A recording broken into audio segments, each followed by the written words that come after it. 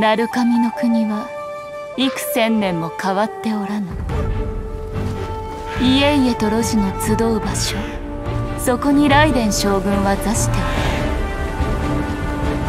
るそこから属性の愛別陸を見下ろし。目に映すは刹那無常の風紫殿輝く稲光の力。が主湯幻の夢をも操る。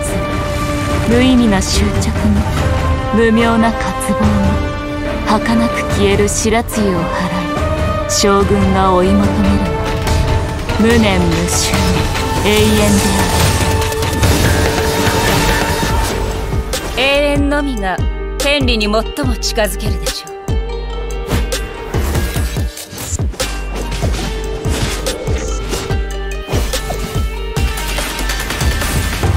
意向のもと属性は影の糸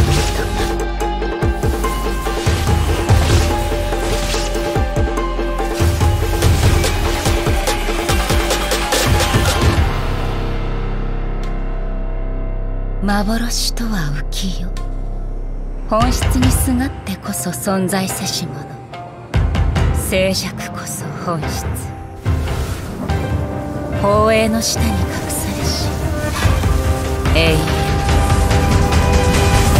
無我の境地。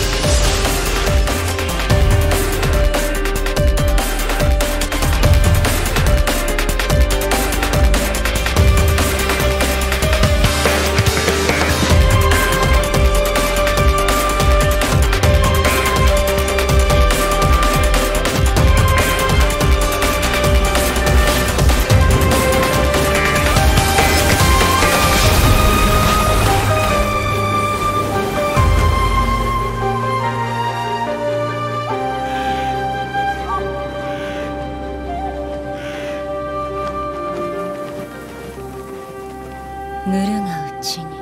見るおの宮は。夢と祝む。